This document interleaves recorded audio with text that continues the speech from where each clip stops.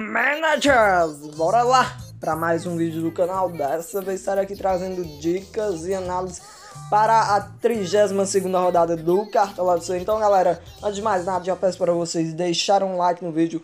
Deixa o like no vídeo que é bastante importante para divulgação. E se você não for inscrito no canal, clique em inscrever-se rumo aos 20 mil inscritos. Galera, eu vou deixar o link do grupo no WhatsApp aí na descrição. Então, se vocês querem entrar no grupo do WhatsApp, só clicarem lá no link, ser inscrito no canal, logicamente, deixar o like no vídeo. Sem mais delongas, vamos escalar aqui o nosso, nosso time para a 32 rodada.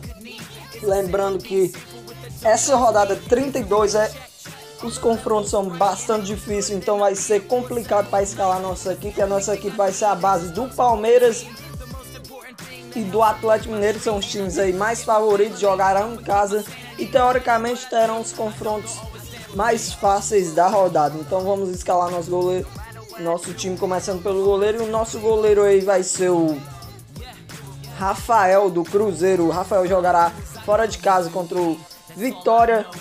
Não sei se o Marinho volta, Marinho deve voltar essa rodada, então Marinho chuta bastante, vai ser exigido o Rafael e o Cruzeiro já mais de três partidas, eu acho que sempre está mantendo o SG, então Rafael vai ser o nosso goleiro para a trigésima segunda rodada. Galera, ótimas opções aí.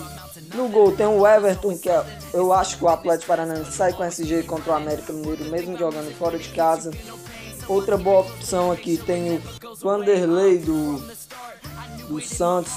Outra excelente opção para SG para valorização. Se você quer valorizar, tem o Vitor aí, o Vitor do Atlético Mineiro vem de menos outros, vai valorizar muito. E o Jailson do Palmeiras. Essas são as boas opções no gol. Bora aqui escalar nossos laterais, nossos laterais. Vamos escalar aqui logo o Egídio, o Egídio do Palmeiras. O Palmeiras na minha opinião, sai com, com SG contra o Esporte Palmeiras. Tem um confronto fácil contra o Esporte Palmeiras aí, brigando para ser campeão. E o Esporte brigando para não ser rebaixado. Então, vamos de Regídio porque confiamos nas roubadas de bola dele. Outra boa opção aqui é o Wellington Silva.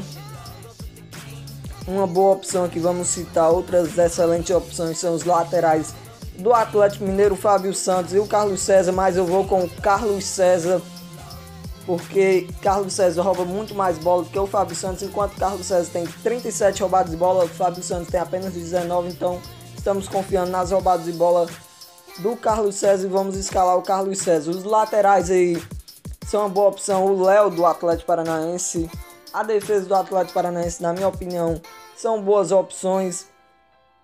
O lateral Jorge do Flamengo pode ser uma boa, bastante caro, mas acredito que ele vai roubar bastante bolas mesmo não confiando no SG do Flamengo. Vamos escalar aqui nossos zagueiros, começando pelo zagueiro Leonardo Silva, fez um gol na última rodada. Como já falei, o Atlético Mineiro jogará em casa contra o Figueirense. Acredito que o Atlético Mineiro mantém o SG. Então vamos de Leonardo Silva e Carlos César na defesa, dois defensores do Atlético Mineiro. Bora aqui escalar nosso segundo zagueiro, uma ótima opção aqui tem o Thiago Heleno do Atlético Paranaense, o Vitor Hugo aqui. Mas vamos aqui com o Mina. O Mina aí negativou a última rodada, deve valorizar essa. Como eu já falei, o Palmeiras é muito favorito, então estou confiando na zaga do Palmeiras. Então vamos com Mina e Egídio na defesa. Bora citar boas opções aqui na defesa. Na defesa está bastante complicado, mas tem o Erasmo que pode ser uma boa. O Kahneman também pode ser um boa, que é clássico, mas ele já mitou algumas vezes aí no Cartola.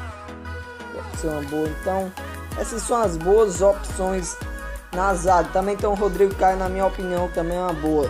Vem de 12 pontos na última rodada sem SG. Então, bora escalar aqui nossos meios campistas, nossos meios campistas. Uma ótima opção que eu cito que é o Gustavo Scarpa sempre vem mantendo uma média boa de pontos no Cartola. Outra excelente opção, mito que está de volta, vai estar no nosso time. É o Vitor Bueno, vem de 4,20. Esse cara é mito. Jogou pouco tempo no último jogo do Santos e conseguiu fazer 4,20. Então, ele é mito. Estou apostando no Vitor Bueno nessa rodada. E estamos com ele no nosso time principal aí. Uma boa opção para roubar a bola tem o Júnior Russo. Nosso segundo meio campista vai ser aqui o Diego, Diego do Flamengo. O Flamengo terá um confronto difícil contra o Corinthians, mas acredito que o Flamengo possa ir bem, o Flamengo brigando aí pelo título. Vamos com o mito Diego, o nosso terceiro meio campista. Vamos escalar aqui o nosso terceiro meio campista.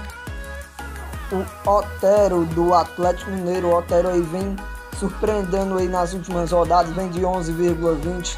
Está sempre aí mantendo a média boa, tá com a média de 4,84. E o Otero vai estar, nosso time é o dono da bola parada aí do Atlético Mineiro. Bora citar boas opções, tem o Moisés aqui, é uma boa. O Rodriguinho também eu acho que é uma boa, o Rodriguinho estava roubando bastante bolas, ele e o Camacho do Corinthians estão surpreendendo nas roubadas de bola. Outra boa opção, quem quiser apostar aí no Robinho pode ser uma boa.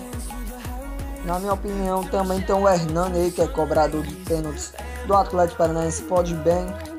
Então essas são as boas opções aí no meio campo. Bora escalar o nosso ataque. O nosso ataque vai com o Robinho e o Fred. O Robinho e o Fred vamos escalar logo os dois atacantes do Atlético Mineiro. Estamos acreditando na goleada do Atlético Mineiro, então vamos de Robinho e Fred. Uma ótima opção aqui é o Luan do Grêmio.